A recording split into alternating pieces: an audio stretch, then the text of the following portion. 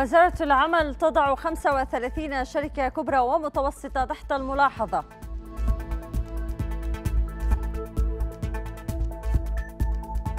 الجهات الحكومية تصرف للمقاولين 40 مليار ريال من مستحقاتهم المتأخرة.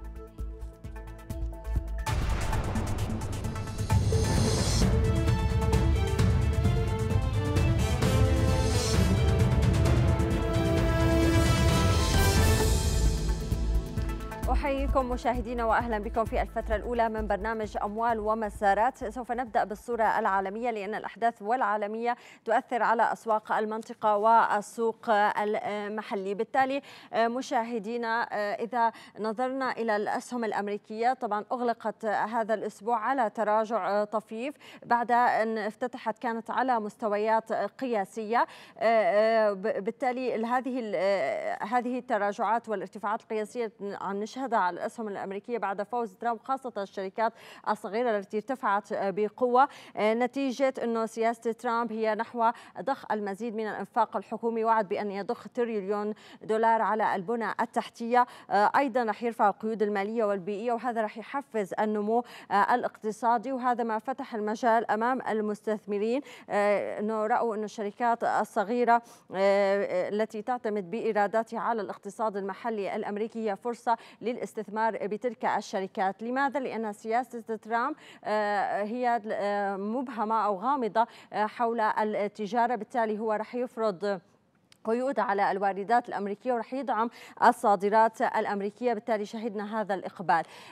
بالتالي مع سياسة ترامب وضخ المزيد من الإنفاق الحكومي الدولار عم يرتفع لأعلى مستوياته في 13 عاما أمام سله من العملات الرئيسية. هو حقق أعلى مستوياته في في أسبوعين في 20 شهرا منذ مارس آذار 2015 في ظل كما ذكرنا إدارة ترامب حول ضخ المزيد من الإنفاق الحكومي خفض الضرائب كل هذا سيؤدي بالتالي إلى ارتفاع التضخم. ارتفاع التضخم هذا بيؤدي إلى دفع الدولار. أيضا توقعات برفع أسعار الفائدة صارت أكبر توقعات برفع أسعار الفائدة الشهر المقبل في 14 15 من ديسمبر كانون الأول. سمعنا تصريحات جانيت يلين كانت يوم الخميس سوف تستمر ولايتها في عام 2018 وقالت أنه موعد رفع أسعار الفائده أمام لجنة في الكونغرس بات قريبا لكن لم تلمح عن التوقيت. لم تلمح أنه سيتم في هذا التوقيت في 14 و15 من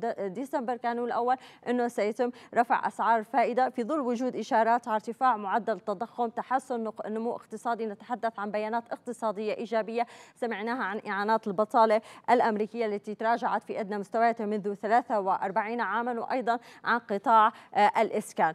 والجنيه الاسترليني طبعا مقابل الدولار متراجع عند 1.23 43 ننتقل الآن إلى الحديث عن بالنسبة لعملة اليورو دولار التي تراجعت عند اعلى أدنى مستوياتها في 11 شهرا 1.585 لكن راح نشوف تحركات للدولار بعد هناك يعني تغييرات في ترشيح وزارة الخارجية بالنسبة لأنجيلا ميركل. وبالتالي ننتقل الآن إلى الحديث عن الين الياباني مقابل الدولار ارتفع بقوة الدولار مقابل الين الياباني. نحن نتحدث عن ارتفاع خلال أسبوعين كان 7.5 أعشار في المئة.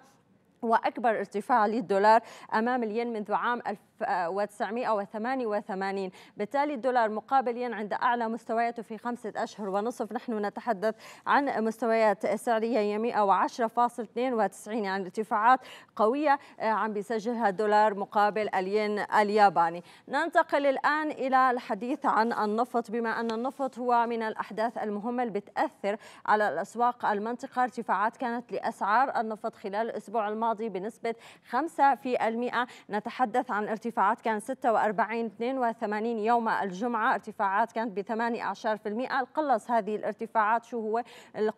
قوة الدولار. بالتالي هذه الارتفاعات وسط تفاؤل بإمكانية التوصل إلى اتفاق بين منتجي أوبك بين أعضاء منظمة أوبك سمعنا أنه سيكون هناك اجتماع بين أمين عام منظمة أوبك وأيضا بين إيران حول اتفاق حول حول التوصل. أبدت إيران مرونة أنه سيتم التوصل إلى الاتفاق وتفاؤل بشأن التوصل لاتفاق المنعقد في 30 من نوفمبر تشرين الثاني.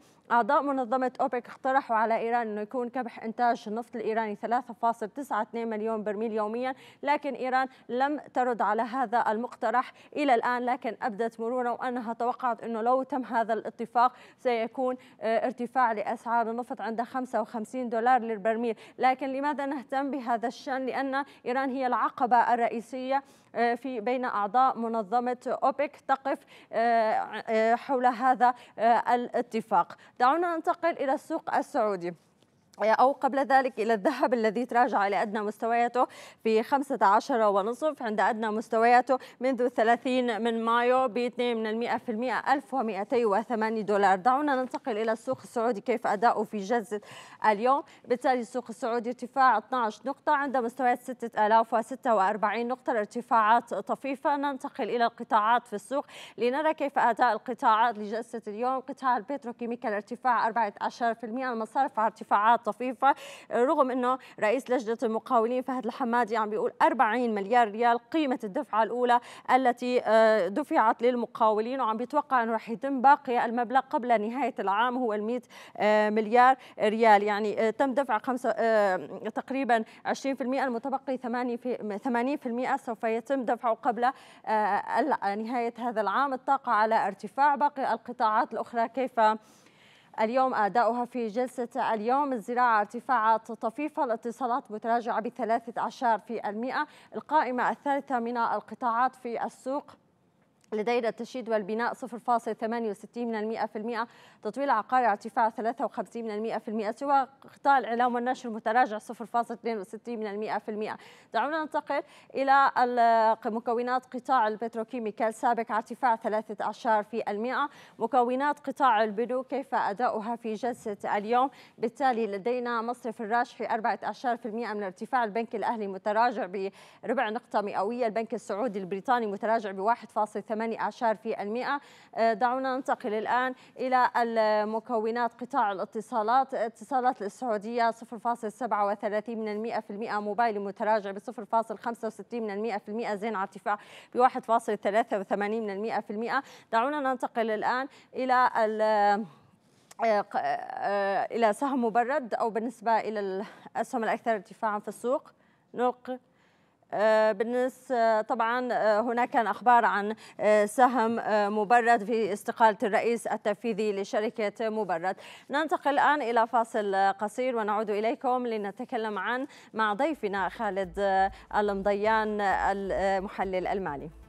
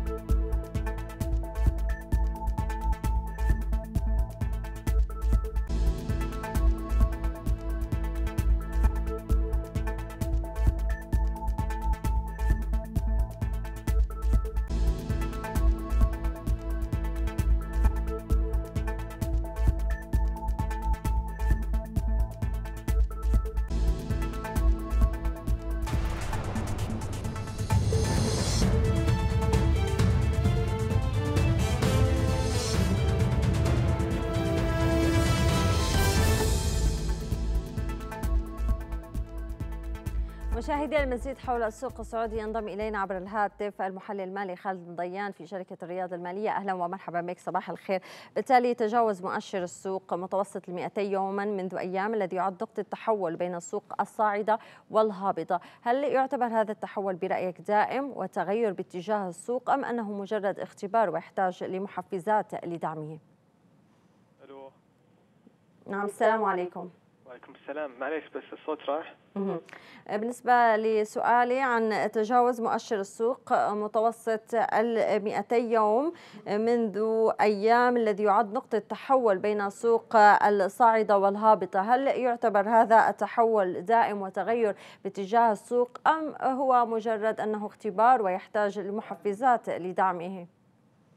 اولا أشكركم على الاستضافة وثانيا جوابا على سؤالك. صحيح انه اختراقه لمتوسط إغلاقات 200 يوم كان مؤشر مهم للحافز الإيجابي من السندات الحكومية بالدولار بالإضافة إلى آه، تصريحات المسؤولية فيما يخص دفع مستحقات القطاع الخاص أدى إلى حالة تفاؤل آه، نشوفها من قبل المتداولين آه، بارتفاعات كانت سابقة والآن تقريبا السوق في مستوى إنه نقدر نقول عنه إنه راح يشكل ضغط أو مقاومه مهمة. منها نقدر نشوف إنه الموجة الصاعدة راح تستمر معنا لنهاية السنة أو لا. لذلك إحنا نشوف بنظرة مبدئية إنه 6700 إلى 6800 بتكون مقاومة مهمة. تشكل لنا النظرة الأولية حتى إغلاق هذه السنة طيب هل اتفاق أوبك برأيك هو سيبقى النقطة الحاسمة لهذه الموجة الصاعدة الذي سيعقد في الثلاثين من نوفمبر تشرين الثاني والآمال بهذا التوصل؟ طبعا لأن الفترة الحالية إحنا مثل ما عارفين أنه معدل ارتباط النفط مع اسواق مع سوق الأسهم السعودي معدل موجود ويهمنا بالدرجة الأولى استقرار آه، آه، اسعار اسواق النفط حتى لو كانت مستقرة في مستويات منخفضة لكن استقرارها يعطينا يعني آه، طمأنينة على الأقل على الوضع. فيهمنا إنه الاجتماع القادم يعني يخرج لنا باتفاقية أو ببوادر أي أي اتفاق إيجابي للدعم أو الأثر النفسي للمتداولين. لباقي السنة. فيهمنا الاجتماع القادم اللي راح يكون يوم الأربعاء مو القادم اللي بعده. آه بيكون يوم أتوقع إنه مهم. للكثير من الأسواق. طيب بالنسبة كان صرف المستحقات يعني دخل صرف المستحقات حيز التنفيذ. آه بالتالي كما ذكر يعني لجنة رئيس لجنة المقاولين أنه تم دفع آه مستحقات بقيمة 40 آه مليون. بالتالي يعني هل برأيك إيش التأثيرات سيكون على قطاع البنوك؟ وهل ستشهد تقلص الكثير من المخصصات؟ سؤالك جيد صحيح. ال 40 مليار مثلت الدفعة الأولى من مستحقات المقاولين بالإضافة لو رجعنا إلى تصريح لجنة المقاولين ذكر لك انه بيتوقعون 100 مليار ريال آه، راح نعم. تدفع خلال الأسبوعين الماضيه يعني مجموعها بيكون 140 آه، مليار. من, من الأصل 160 مستحق. فهذا بيعطينا يعني أثر إيجابي. بالإضافة إلى بعد الدفعة الأولى شفنا إحنا معدل ال SAIBOR انخفض حدود ال 20 نقطة أساس. الآن يتداول عند 2.17% تقريبا. فهذا أدى إلى تخفيف الضغوطات للقطاع المصرفي خاصة في شح السيولة بالإضافة إلى لازم نذكر أنه الإصدار الناجح للسندات الحكومية بالدولار أعطت يعني خففت من هذه الضغوط. أيضا شفنا انخفاضات في المعدل SAIBOR خلال الفترة القريبة خلال الأيام الماضية بالإضافة إلى تقليل المخاوف بشأن القروض الغير عاملة اللي هي مختصة تقريبا في قطاع المقاولين والإنشاءات. ف يعني مع نهاية سبتمبر إحنا شفنا قطاع كامل كان في حدود 16 مليار و600 هذا في من ناحية القروض الغير عاملة وكانت مغطى يعني كانت في مستويات مريحة. فالحين آه، مع مع يعني رجوع رتم الدفعات للقطاع يعني بتكون في مستويات أكثر يعني جيدة للقطاع ككل فتعطيه بعض من التحرر من هذه الضغوط أكثر البنوك المكشوفة لهذا القطاع آه، إحنا شفناها من ناحية الأرقام الانما البلاد الهولندي من ناحية انكشافها لمبالغ آه، المقاولين. خالد ضيان المحلل المالي في الرياض المالية شكرا جزيلا لك.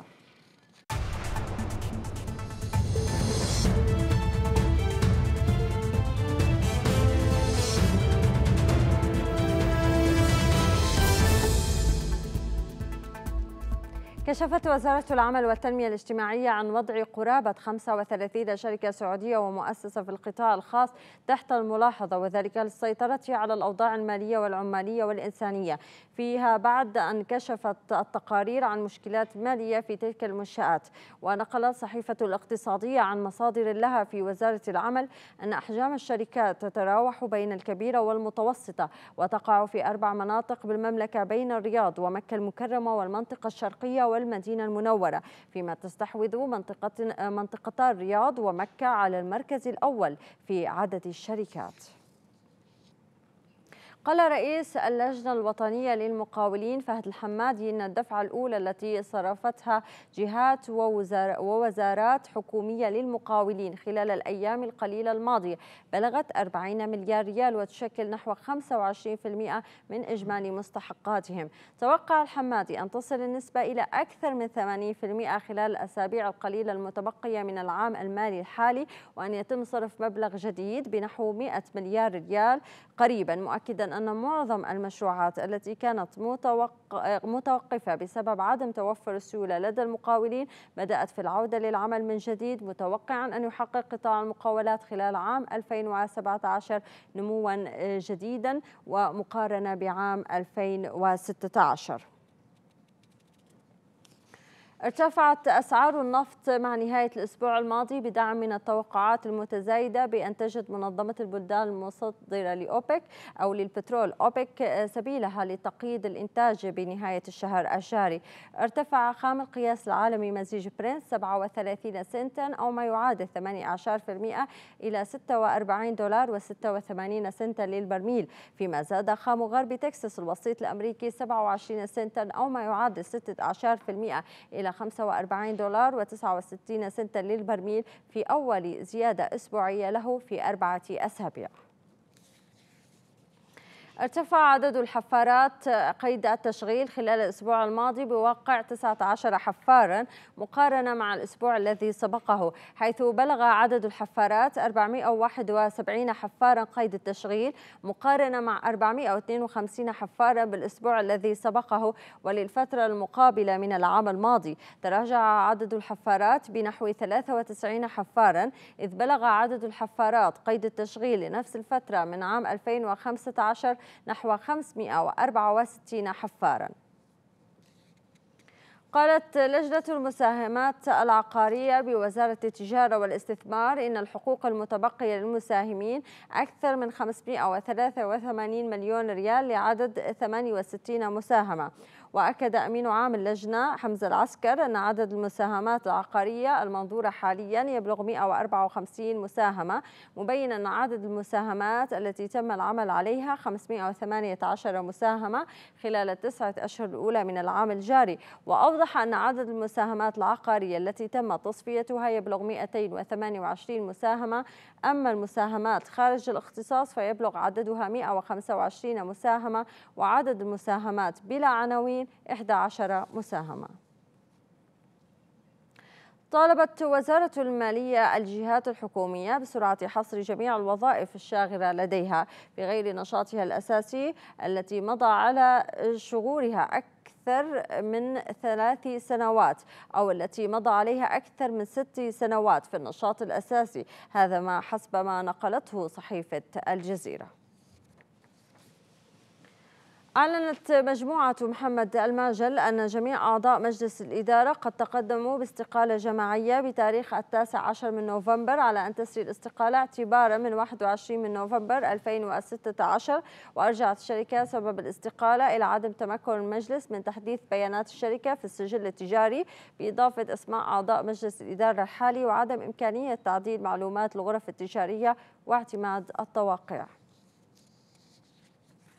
عقد في العاصمة القطرية الدوحة أعمال الاجتماع الوزاري الثامن عشر لمنتدى الدول المصدرة للغاز برئاسة دولة قطر. الاجتماع الذي تشارك فيه 19 دولة يبحث آفاق تعزيز سوق الغاز العالمية بجانب التطورات المتعلقة بأسواق الغاز في العالم. اعتماد استراتيجية طويلة الأمد لمنتدى الدول المصدرة للغاز. هو محور الاجتماع الوزاري الثامن عشر لمنتدى الدول المصدرة له مع بحث أكثر الطرق فاعلية لتعزيز التعاون بين الدول الأعضاء لتطوير أسواق غاز على قدر عال من الشفافية.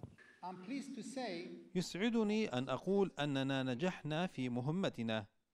هذه السنة كانت سنة نجاحات وهذا الاجتماع يعتبر حدثا خاصا لبحث أوضاع سوق الغاز الطبيعي التي تواجهها الدول المشاركة.